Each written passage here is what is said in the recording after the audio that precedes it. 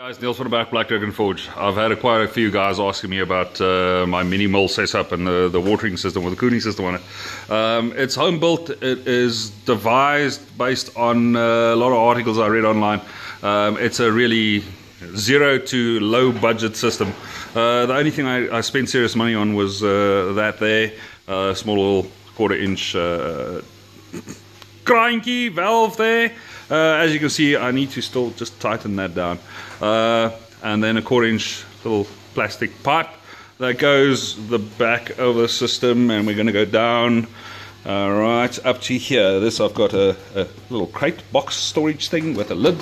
All right, uh, drill two holes at the back and we'll walk around the other side so you can actually see where. So the holes at the back, just never mind the extensions on top of it. Um, let's just do that so you can actually see the two holes, clear pipe. This is the feed up and this is the return. Um, so if we go into this whole thing, uh, the return goes into an old coffee can. And the coffee can has been drilled with holes on the side and there's a magnet at the bottom. So all the return with all the gunk and the metal gets dumped in there, stuck, sticks to the magnet, water rises, falls through there and gets into the reservoir. Um, the feed is a little fish tank pump. Yeah, just make sure that the height of the pump um, can do at least 1.2 meters. Um, that gives you a, a, nice steady stream. So that's it. Really cheap.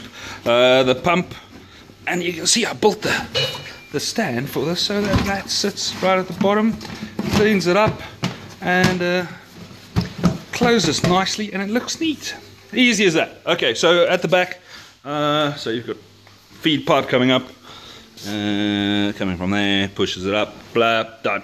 Okay, the return pipe goes from, and where the hell is the feed? Oh, here we go. So it goes from there, is down into the box and into uh, the, the coffee can. And that's about it. Uh, what I also added was a dedicated power source.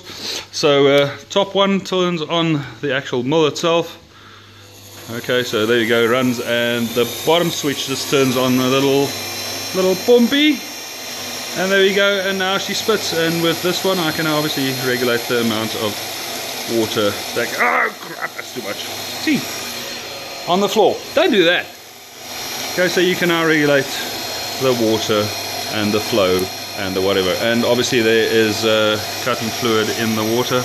Water soluble cutting oil and the spec on the machine. So let's just do that. Let me switch all of this off. Um, spec on the machine. There we go. That is it. MacAfric, so I don't know um, done. I bought it as second hand. Uh, she does the job for me. No, I don't use her for knife making. She actually gets used to cut slots on uh, burner parts. So let's just quickly run over here. Uh, she, slots, she cuts that slot only. That's it. Nothing more, nothing less. That's what she does. Cuts a little slot. Done. Um, the rest of the burner parts gets done on the larger one, which obviously now runs the same cooling system. And there we go, there's its little box and power sources and the whole works. So uh, let's just see. Oh, I've got no power on there. So we'll switch that on. Uh, then we'll run back here. So now that one spits water. Okay, and this is a different cooling system because this one runs at a, a much higher speed.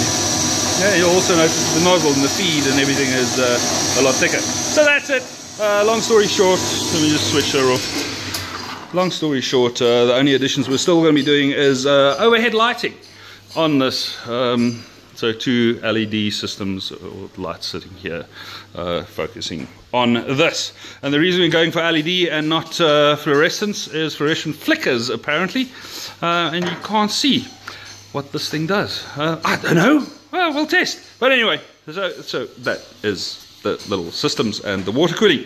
Have fun, enjoy, remember to share. Cheers!